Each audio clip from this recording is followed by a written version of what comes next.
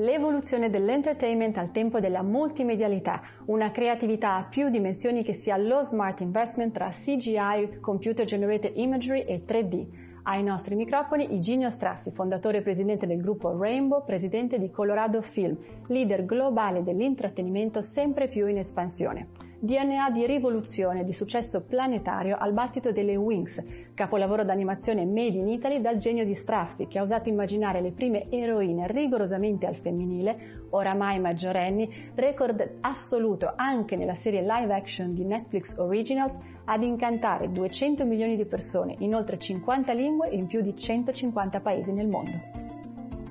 Da un mini studio di animazione nato per una pazzia in società con un prete tra le colline di Loreto nelle Marche ad una content company di respiro globale da 85 milioni di euro. Protagonista dalla produzione alla creazione alla commercializzazione con anche un record di licenze al mondo passando per i progetti editoriali sino al talent scouting. Il DNA di innovazione del gruppo Rainbow consiste nell'andare sempre oltre, usare sempre di più, facendo dell'immaginazione una rivoluzione. Ce ne parli lei a partire dal nome, come le è venuto in mente Rainbow? Ma il nome nasce dall'idea di qualcosa di positivo, di colorato, come erano appunto le nostre idee di cartoni animati all'inizio e che fosse un messaggio appunto di speranza, cioè l'arcobaleno esce nel momento in cui il sole fa capolino tra le nubi e quindi è sicuramente qualcosa di oltre di colorato, di magico, ma anche di positivo, appunto, che dopo tutto il grigio della pioggia arriva il colore, il movimento, l'arcobaleno.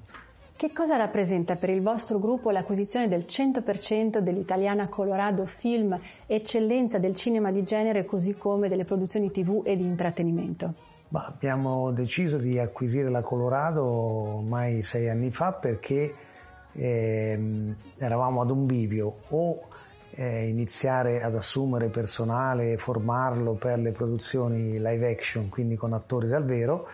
oppure appunto acquisire una società già strutturata e già ben organizzata come la Colorado per essere anche più veloci e dinamici nel fornire questi contenuti al mercato che ne stava appunto facendo richiesta sempre maggiore. E abbiamo optato per, per, questa seconda scelta perché appunto avevamo bisogno di correre come corrono i nostri tempi, come lei sa, e quindi non volevamo perdere la sfida di creare un gruppo globale che possa fornire contenuti alle emittenti, alle piattaforme dal prescolare al, agli adulti. Ecco, parlando del sistema, che cosa manca secondo lei al nostro sistema anche nell'ambito dell'audiovisivo che lei riuscirà a risolvere così che l'Italia smetta di essere in balia dello shopping di gruppi stranieri per il suo know-how? Ma, uh, guardi, io penso ormai da, da, qualche anno che in Italia manchi un gruppo eh, che faccia contenuti che abbia un peso. Peso significa politico, ma anche a livello commerciale con la controparte gli studios americani o, o orientali. E per far ciò bisognerebbe avere un aggregatore, come dico sempre, qualcuno che possa fare, essere capofila e mettere insieme alcune altre eccellenze che il paese ha e formare un gruppo che abbia un fatturato, un peso specifico un po' più importante di quello che abbiamo noi o altri eh, studi e, e produttori italiani indipendenti in questo momento. Il presidente dell'Unione Editori Audiovisivi, James Ordanza, ritiene che sia fondamentale utilizzare i contenuti in modo intelligente, così che la saga cinematografica e lo streaming si sostengano a vicenda. Considerato che il cinema italiano al box office è quello un po' più in sofferenza con un meno 7% del 2021, che cosa ne pensa lei? Ma io credo che bisogna ripensare un po' riorganizzare le produzioni, cioè ci sono un certo tipo di film che eh, ormai è chiaro non riescono ad essere più attrattivi per chi deve uscire di casa e spendere 8-10 euro, quello che sia, per il biglietto e vedere lo spettacolo in sale che tra l'altro non sono nemmeno molto accoglienti come ci sono all'estero, sono pochi cinema italiani che si sono veramente rinnovati in termini di comfort e di fruibilità proprio dello spettacolo. E, e quindi ecco, questi, questi, film oramai vengono penalizzati perché eh, siamo abituati dal lockdown in poi a vedere questo tipo di spettacolo eh, sulle piattaforme. E perciò secondo me per il cinema andrebbero creati dei contenuti che abbiano delle caratteristiche diverse, non dico di poter competere con gli americani e creare solo dei colossal, ma comunque che ci siano degli ingredienti, delle peculiarità che si possono godere appieno soltanto sul grande schermo. Sappiamo tutti quanto i film influenzino l'inconscio collettivo dei bambini e lei che ha preso questa responsabilità con così grande piacere e passione, quando crea le sue storie, come le immagina affinché influiscano sull'inconscio a favore delle nuove generazioni? Noi ci siamo sempre posti eh, questa, questo tema della responsabilità di eh, raccontare storie, dare messaggi, esempi, creare eroi che abbiano modelli, insomma, che abbiano determinate eh, caratteristiche positive, diciamo, e educative, una parola grande, però quantomeno portare i bambini a capire che c'è una natura, un messaggio ecologico, quindi un, un pianeta da rispettare, c'è una solidarietà che bisogna esprimere per chi è stato più sfortunato di noi, perché spesso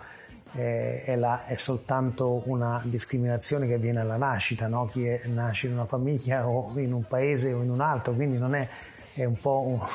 una lotteria, no? quindi diciamo eh, bisogna far capire ai ragazzi di oggi che eh, la solidarietà è importante perché non tutti hanno avuto le stesse possibilità che abbiamo avuto noi. No? E poi tantissimi altri messaggi dell'onestà e dell'educazione insomma cose che eh, secondo noi sono importanti per cercare nel nostro piccolo di creare una società migliore partendo dai bambini. Ecco, parlando di messaggi, mi chiedo, non deve essere facile per una genialità come la sua che riesce ad arrivare a milioni di persone, oltre 50 lingue nel mondo, più di 150 paesi appunto al mondo, ehm, a garantire, ad essere certi che il messaggio positivo sia recepito da tutti come tale e non da alcuni magari negativo, così come può accadere con un messaggio genitoriale che ad alcuni può arrivare positivo, ma ad altri invece non necessariamente così. Beh, nei nostri cartoni diciamo se parliamo di quelli il messaggio è abbastanza diretto, è abbastanza ovvio da quello che succede nella storia che se si prende una strada diciamo di egoismo o di, o di sgambetto verso l'avversario, diciamo così, eh, poi alla fine non si vince ma si rimane soli e perdenti, mentre chi invece eh, unisce le proprie forze e si sforza eh, di, di, di, arrivare a un risultato in maniera onesta, alla fine raccoglie i frutti anche di una fatica che ha svolto, quindi diciamo è difficile equivocare un cartone quando lo fa in maniera così eh, didascalica il racconto. Ecco. Ho capito che il mondo è donna, sue parole. Mi permetto allora di chiedere io a lei, che è un leader illuminato con, alla guida di un gruppo al femminile, inclusa sua moglie Madame Lee, che è padre di tre figlie femmine e delle Wings, artefici sin dal nome fate del loro fato destino, ha in mente una nuova storia che possa ispirare le donne del domani verso una consapevolezza sempre più amplia, così che sappiano ed imparino a rafforzare e a potenziare soprattutto il loro lato femminile, per così dire lo yin, piuttosto che il loro lato maschile, lo yang, pur sempre dando valore agli uomini. Ne avrei di storie e sarei felice, onorato di poterle raccontare alle donne di domani. Eh, il problema è che in questo momento andiamo un po' a scalare una montagna perché diciamo rappresentare una donna femminile eh, si fa fatica in una storia perché insomma la donna poi alla fine eh, la stanno sempre rendendo più simile all'uomo in certe cose che non a queste che vengono forse percepite come dei vezzi o delle cose eh, antiche che venivano appunto la cura del, del della propria immagine, del, dell'abbigliamento e quant'altro.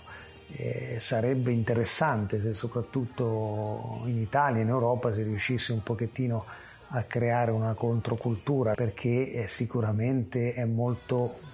più bello che le donne possano ottenere arrivare a certi traguardi mantenendo integra la loro differenza dagli uomini o la loro femminilità che è un grande valore e non certamente un handicap. Le racconto un'altra cosa, noi ci siamo tolti delle belle soddisfazioni perché vent'anni fa eh, presentare le Wings in un universo eh, di eroi maschili sicuramente è stata una grande innovazione che ora ci viene riconosciuta. Abbiamo creato un gruppo multietnico per cui siamo stati anche lì precursori dei tempi avendo una, una ragazza, una fata per ogni etnia, abbiamo dato questa importanza alla donna che è sicuramente eh, capace di, di, di, di, essere artefice del proprio destino e non in balia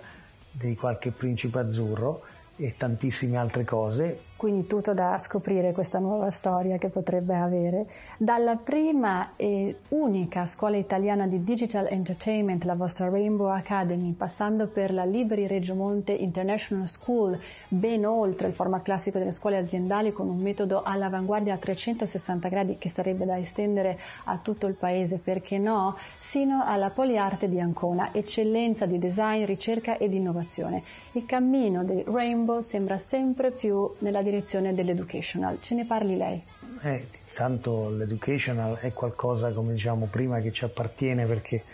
eh, raccontando storie ai bambini ci siamo posti il problema di raccontare storie che abbiano un, un, un valore educativo in qualche modo. Poi però è anche vero che in Italia c'è tantissimo da fare nel settore dell'educazione perché eh, secondo me siamo indietro rispetto ad altri paesi nel poter eh, creare dei luoghi dove i bambini imparino eh, divertendosi con la creatività e senza avere appunto la, la, la,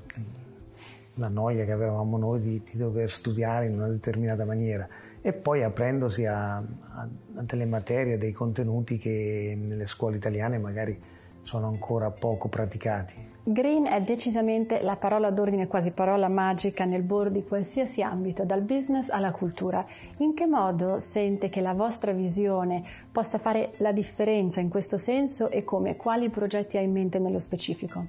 Eh, noi siamo stati sempre, ripeto, dalle storie a, a, quando abbiamo progettato questo edificio dove siamo, molto attenti alla, all'ambiente e quindi qui per esempio ci siamo dotati di geotermico e fotovoltaico per creare energia e, e autosufficienza a tutta la struttura, eh, però in generale, come ripeto, è, è, qualcosa che andrebbe esteso a tutti i livelli, quasi appunto insegnato nelle scuole, perché eh, lo vediamo sotto i nostri occhi che eh, questo pianeta è in sofferenza. E tutto questo sta diventando di di attualità sempre di più, però credo che eh, ci sia ancora tanto da fare e noi sicuramente siamo sempre in prima linea per quanto riguarda qualsiasi iniziativa che riguardi soprattutto la società e i giovani dove si possa diffondere la cultura ambientalista. Se le dico Piazza Affari, lei cosa mi dice? Eh, dico che è è un posto dove si potrebbe costruire un bel progetto eh, di crescita, magari simile a quello di cui le parlavo prima o alternativo a quello di prima, però ecco, è anche un posto, diciamo, da quel poco che abbiamo potuto vedere noi dove eh, l'industria dell'intrattenimento, insomma quella nostra, eh, dello spettacolo, insomma della culturale come viene chiamata in Cina, eh, non, non, è così ben compresa come, eh, come, altre industrie più tradizionali che sono già stabilmente sui listini di, di, di Piazza Affari. Il maestro giapponese dell'animazione Hayao Miyazaki, già Leone d'Oro a Venezia, ama dire prima pensa e poi disegna. Che cosa risponde Ginio Straffi? Eh, dico che è una grande, grande verità, insomma io non la conoscevo questa frase, però e chi mi conosce sa che ogni volta dico che prima di mettersi all'opera su un nuovo progetto o su qualcosa bisogna pensare e studiare bene tutti i dettagli e tutte le varie sfaccettature che possono eh, crearsi in questa, in questa, realizzazione. Quindi eh, anch'io mi identifico molto in questa frase perché se qualcuno mi chiede pure eh, cosa pensi che sia la tua capacità maggiore nel sai disegnare, sai scrivere, sai vendere, non lo so, sai immaginare, io dico sempre, non lo so, l'unica cosa che mi viene pensata è che appunto io rifletto molto, penso molto alle cose e le preparo, le, le studio, capisco magari dove può andare una certa direzione o un'altra in cui mando o una cosa commerciale o una storia e quindi diciamo che a monte c'è un grandissimo pensiero, un grandissimo studio e, e anche scrittura. Quando scrivo qualcosa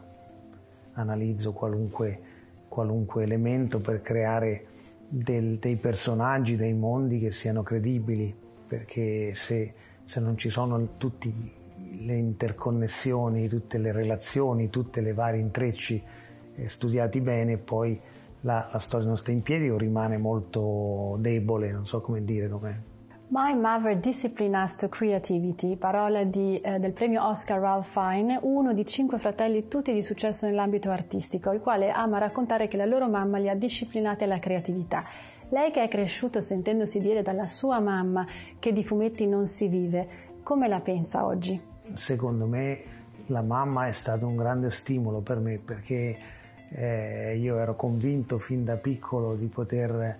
vivere, diciamo, scrivendo, disegnando, perché no, anche un giorno eh, realizzando dei film. E, e, lei chiaramente donna molto concreta nelle nostre terre, e, insomma, vedeva molto più facile avere un impiego più, più normale, come dire, no? e, e quindi mi ha sempre sicuramente incoraggiato a seguire questa mia passione, ma pensando intanto studia per fare eh, il professore piuttosto che un'altra, un'altra, attività che sia più in linea con il mondo, no? con quello che lei conosceva. E quindi io ho sempre lavorato molto eh, e studiato molto invece per riuscire ad arrivare a pubblicare i miei fumetti, a realizzare qualcosa di, di quello che avevo in testa, proprio per dimostrarle che invece si riesce anche a a vivere e a creare ricchezza facendo un lavoro diverso da quelli che, che suggeriva lei. Oggi che persino un divo di Hollywood come Keanu Reeves sta cercando di realizzare il suo fumetto già in versione Netflix, qual è il fumetto dei desideri che Eugenio Straffi vuole assolutamente creare, magari disegnandolo con le sue bambine, guardando la tv come faceva da piccino a fianco alla sua mamma che cuciva? Diciamo parecchi ne ho già realizzati di quelli che avevo nel, nel, come si dice, nel mio cassetto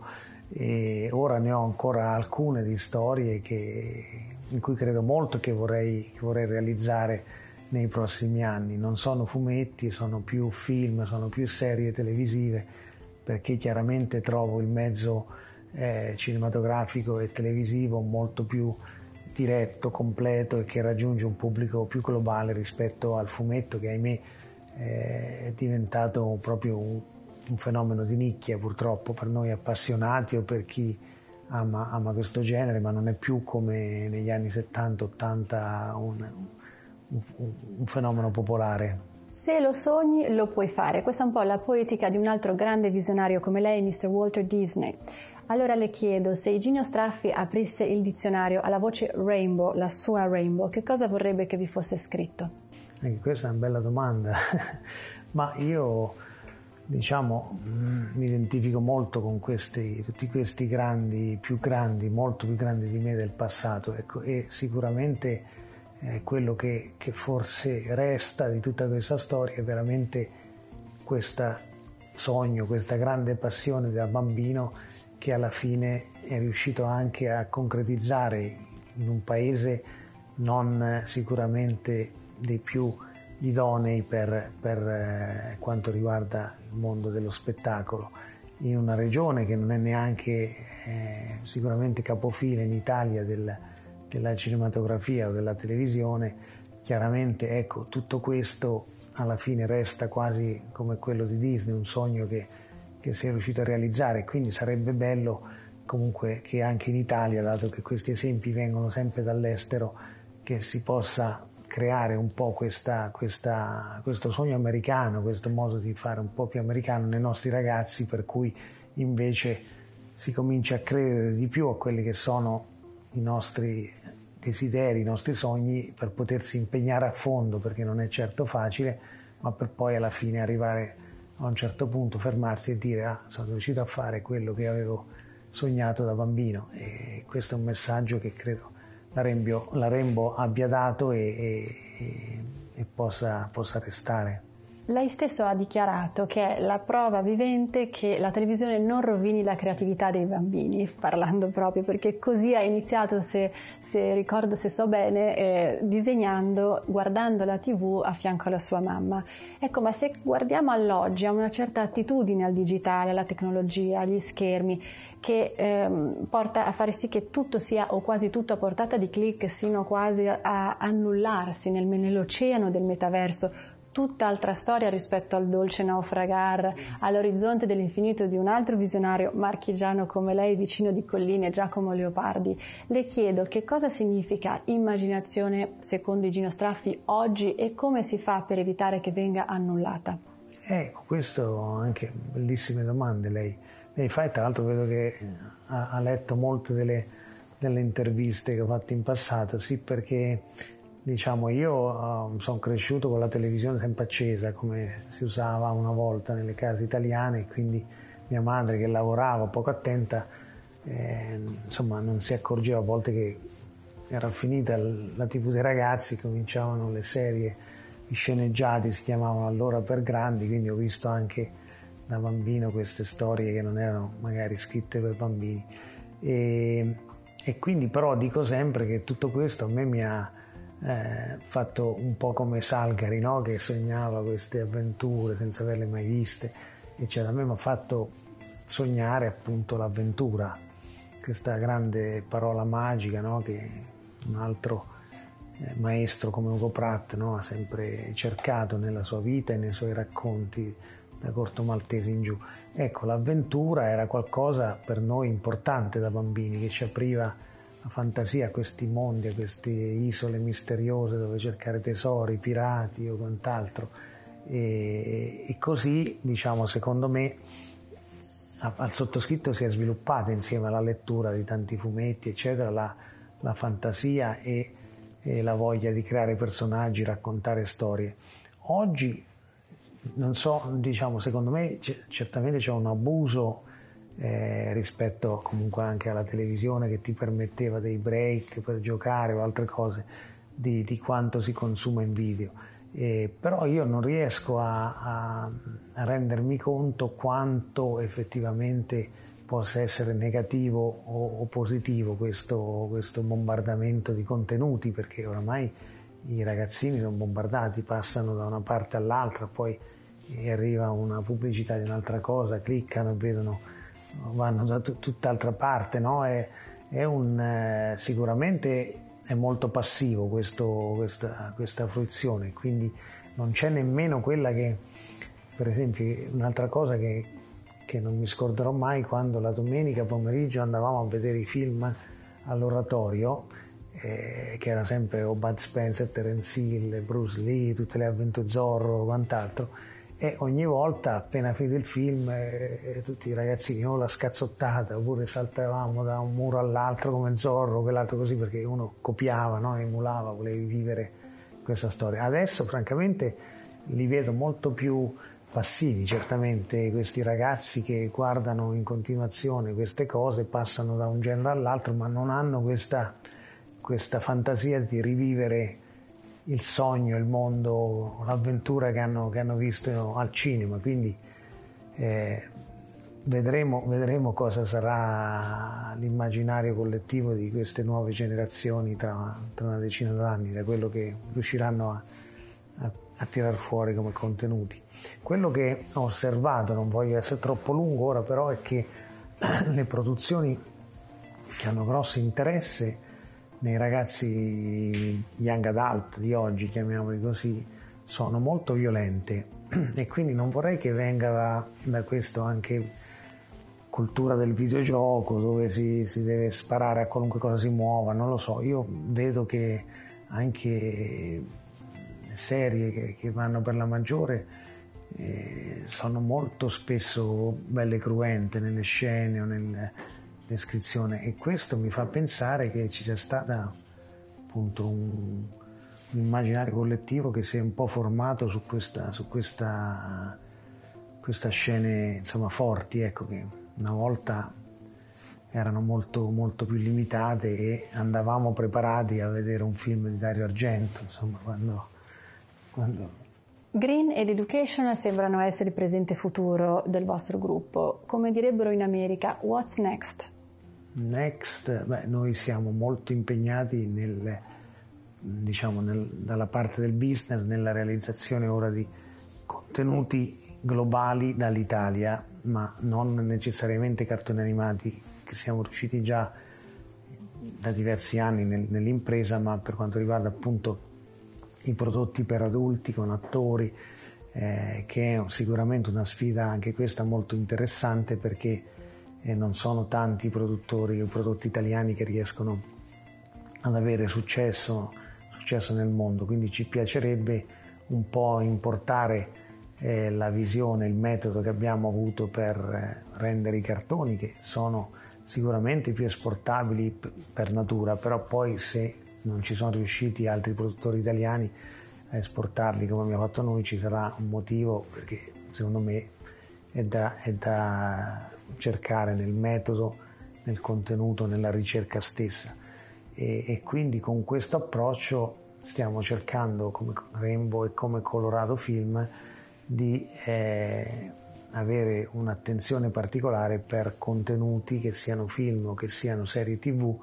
prodotti dall'Italia ma con un appeal internazionale. Se ci riusciamo saremo molto soddisfatti. Quindi se ho colto una eh, possibile soluzione appunto a, a, eh, alle carenze del nostro sistema sarebbe una sorta di casa ovviamente di, di, di cuore italiano ma anche europea, un grande polo, eh, perché no, eh, iniziato appunto da voi e con voi. Bisogna che qui però ci sia un po' una convergenza astrale di tutto il sistema, da quello politico che comunque non ha mai eh, dato segnali di, di, avere un problema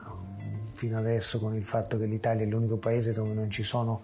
almeno uno o due grossi gruppi che sviluppano contenuti e, e, e li esportano in tutto il mondo, aziende intendo da qualche centinaia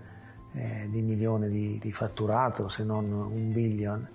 eh, che sono in Germania, in Inghilterra, in Francia, ce ne sono più di una per ogni paese, in Italia invece come si arriva a una size eh, molto più piccola, comunque media, diciamo così,